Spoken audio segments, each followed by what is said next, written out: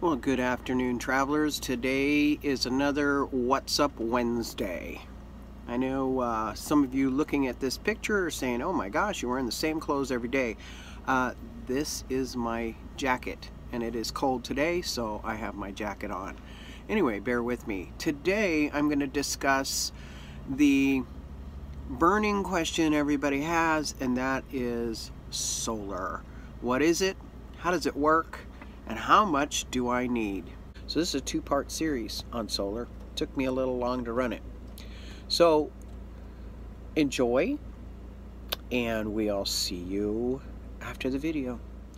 Well, first thing is to understand how solar works. Everybody asks you, how much solar do you have? How much panels do you got on your roof? How much of this you got? That's not the important question. The important question is, is how much storage you have. You can have all the solar panels on the planet and have no storage and it's not going to do you any good at all. Your main objective is storage, okay? Think of it as like a water tank. You can have rain coming down by the buckets fulls, but if you don't have any place to put it, it just goes in the ground and soaks in and it's wasted. So what do you do? You put gutters up so you catch that water and then it goes into a container so that you can use it later. Now, that water then has to be filtered so that you can use it. And then it's distributed through a series of pipes and canals to get to where you want it to go, such as the sink or the toilet, that sort of thing. Well, solar is basically the same way. You can have all the solar panels that you want, but if you don't have that containment center to hold it, it's not going to help you at all. Then you, your filter system is what we call a um, charge controller. Now this right here behind my head is a charge controller. All right. The solar or the liquid water will go into that into those panels and they'll come out of that panel and go into this box. And this box determines how much of that power goes into the battery. It's very important because if too much goes in, you can flood your batteries, burn them up, catch fire. So this controls how much energy is going into your batteries, which your batteries are your containment, your catch-all, your storage for all the power that the sun delivers. Now, your batteries can only take a certain amount of power at a time. That's where the charge controller comes in. Now, I'm not really versed on the numbers or the amount of power each battery has or how much solar panels make in amps, watts, that sort of thing. This is simple basics, okay? You want all that stuff, go over to Will Prowse's website and he'll give it all to you. He's he's a, a, Silicon Valley nut and uh, he knows it all. He does it all. He scrutinizes it all and he has a really good book out there that you can purchase called Solar I think for Dummies or something very simple of that thing. Anyway this is a very simplified solar explanation. Now once that power goes through that charge controller it deposits it into the containment which is the batteries. Now how do I get this power out of those batteries? Well, there's a couple ways to get it out. Those batteries are usually on a 12 volt system.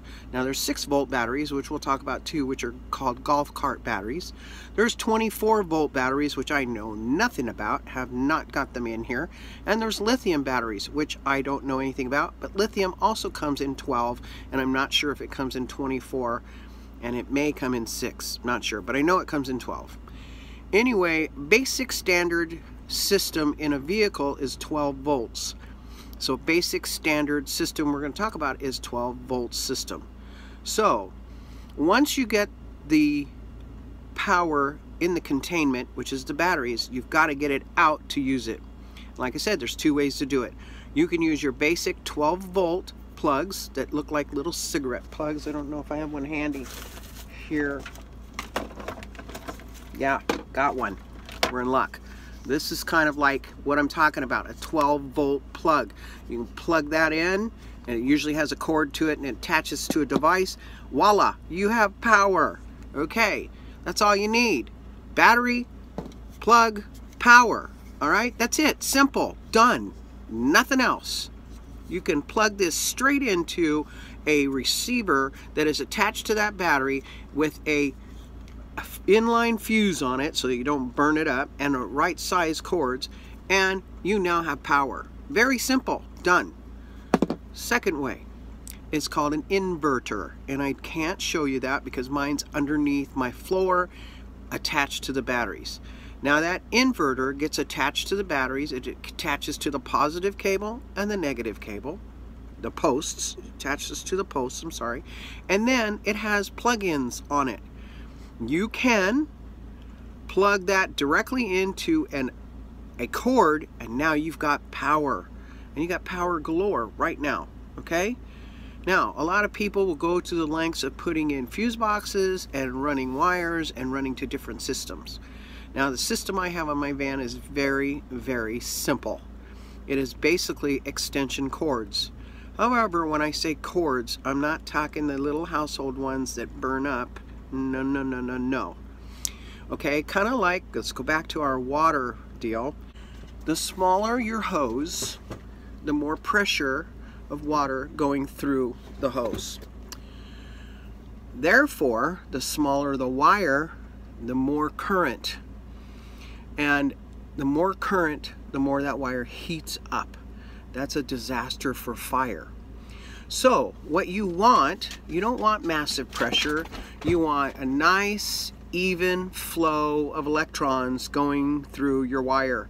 Therefore, the larger the wire, the better. Less risk of fire, less chance you're going to burn your van to the ground. Now, there's things called fuses that go in line, which means you cut that wire, you put a fuse, you add the wire together. Therefore, the current has to go through the wire, through the fuse, and back into the wire. If that fuse is too small and there's too much current coming, the fuse will blow. Now that protects the rest of your equipment. Everything you add to your solar system should have a fuse running along the hot wire somewhere on it so that you have that added protection. Now, like I said, my solar system is very, very simple. I have four 6 volt golf cart batteries. Now, the reason I have four of those, those actually equal two 12 volt batteries. 6 plus 6 is 12, okay? Basic math you need a 12 volt battery to run a 12 volt system. So a 6 volt battery will not work. So you have to put two of those batteries together to make one. Each battery has an amp hour on it and when you combine the two together it doesn't increase the amp hours it just makes them one battery so it's the same so let's say each 6 volt battery says 220 amp hours you put them together instead of it being 440 amp hours, it's still 220 amp hours. That's the way it works. So I have four of those, which equals two 12 volt batteries. All right. My solar dumps into my storage, which is a 12 volt battery system I have set up. And then it goes out of that system into my inverter. And from my inverter, I have a very heavy gauge extension cord coming off that has a series of plugins. There are fuses all along that power cord. So my series of plugins, I have plugged in a refrigerator and I have plugged in a light. And that's it. That's my solar system. Period. I'm not running an array of lights. I don't need it. I live in a dang van. I don't need 20 puck lights in the ceiling. I need one so I can see what I'm doing and it needs to be bright enough so I can see what I'm doing. So I use a very bright LED light over my sink. Now if I want other lights in other places, I have different ones that run off of what is called a USB plug, which is a low volume, a low electrical plug, which doesn't use much power at all. And I have another one of those in another area of the van, which gives me light in that area. So that's all I need in my van. And mine's a big van. It's 19 feet long by seven feet wide by six and a half feet tall. So it's huge. It's a big van and I don't need much more light than that. If I want more, I also have solar powered Luci lights, which cost me nothing to run, which is a really good option to get solar powered uh, lights and solar powered equipment, then you're not using anything at all. So that's basically what I charge. Now you talk I some of you are going to ask, okay, what about your computer? What about your phone? Blah blah blah blah blah. Yes, I also have a plug that comes out of that um, extension cord that goes to my electronics. And I have a phone that I charge, another battery that I charge, a headset, and the computer. And I never charge them all at one time because I'm running off of uh, one cord. I'm not running off a separate system. So I'm managing what I'm charging, when I need to charge it, and, and that's the way that works. Now, what if there's not enough sun during the day? Uh, I also have a generator set up so that for like days like today and like yesterday where it's totally cloudy and raining, I can turn on the generator and that generator feeds uh, a battery charger which charges my batteries. So on a cloudy day, I can charge those batteries from a battery charger and not charge it from a solar system. So I have those two systems in here. I also have what they call shore power also in here, which is a whole nother different ballgame. Anyway, um, so I can charge my batteries on rainy days, cloudy days by using my generator. And it doesn't take very long to top those off. I can charge my sol my batteries on very sunny days with the solar I have. Um, I, I have found that a good rule of thumb is for every 12 volt battery you have, or every 100 amp hours or whatever a battery you have, 100 watt solar panel should be able to charge that battery up sufficiently.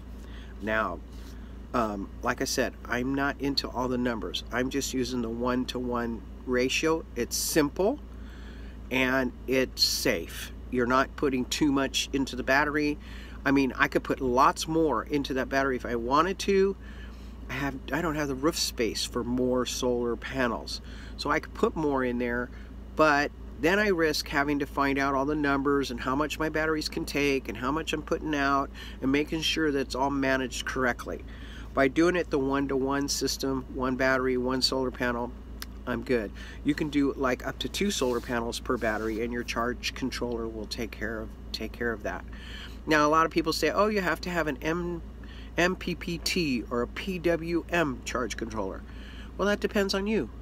Smaller systems of one to four solar panels can get by on a PWM charge controller. Okay, so if you have one solar panel, you can get by with a 10 I think it's watts. Yeah, a 10 watt um, charge controller. If you've got two, a 20 watt. If you got three, a 30 watt. If you got four, you want to go to a 40 watt. Once you get up to four or larger, it's best to go to with an MPPT. If you got a small system, you don't need it. Okay? I'm going to tell you right now that I put all of the solar on top of my van and this nice charge controller right here, all of the wires and the brackets under $600. Now my batteries, my batteries were $130 each and I have four of them. So the batteries are your big price, your big cost. Don't skimp on your batteries. Well, thank you for traveling with me today, and I hope you enjoyed this episode of Solar. If you have any more questions about solar or anything else, please uh, put them down in the uh, comments below, and I will do my best to answer those questions. Um, I appreciate you being here. Thanks for all the well wishes while I was sick this week. Um, I'm still a little sick. My nose is still a little bit plugged up, but I'm feeling a whole lot better. Anyway, follow your heart, embrace your dreams, and cherish your life, and get out there and live today. We live today. Tomorrow's not promised. Get out there and live today. No matter what you do, go have fun. All right? Thanks again. We'll talk to you later. Bye bye.